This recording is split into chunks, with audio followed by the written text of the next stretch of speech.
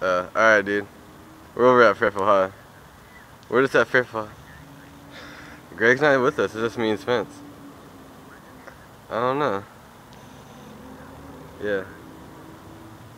Alright. Hey, do you have any stoves? Huh?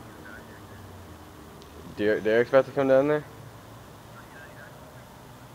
Uh, what'd you just say then? You want us to?